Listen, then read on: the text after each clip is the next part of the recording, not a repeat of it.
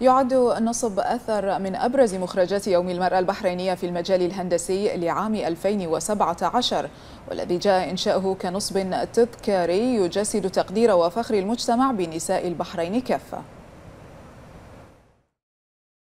هو من أبرز مخرجات يوم المرأة البحرينية في المجال الهندسي عام 2017 والذي نظمه المجلس الأعلى للمرأة بالتعاون مع هيئة البحرين للثقافة والآثار.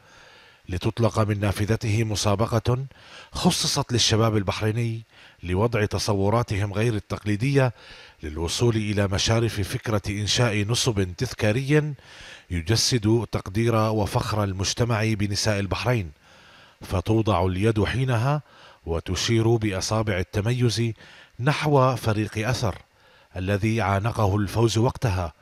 لينبثق اسم المشروع منه ويطل نصب أثر بمجسم أخاذ سكنته تفاصيل هندسة مثالية ارتكزت على أربعة جوانب أساسية في كل منها إشارة لحجم الاعتزاز الكبير بالأثر المحدث الذي حققته المرأة تاريخيا ومن فكت تستمر في تحقيقه وهي ترسم أسس الحاضر وملامح المستقبل. في هذه الجوانب قد أشير إلى البحر كدليل على عظيم الدور الذي كانت تقوم به المرأة البحرينية في إدارة شؤون الأسرة والمجتمع عند خروج الرجل في رحلات الصيد واللؤلؤ.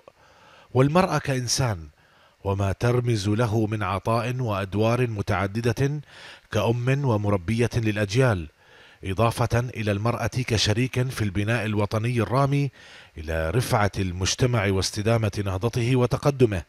وأخيرا وليس آخرا ما سكن في نصب أثر من مواطن ابتكار راعت جوانب الحداثة والمحافظة على البيئة لتستمد رونقها من رؤية شبابية تستلهم حماسها من إنجازات الرواد وتنظر للمقبل من الأيام بكل ثقة للمزيد من العطاء. رمزية تصاحب نصب أثر لتسمو بمضامينها التي تؤكد على حتمية الاحتفاء دوما بعطاء المرأة البحرينية وبإسهاماتها وبمواقفها الوطنية على مر التاريخ باعتبارها جزءا لا يتجزأ من المجتمع البحريني الذي ينهض بها لما لها من أثر بالغ في إعداد الأجيال القادمة.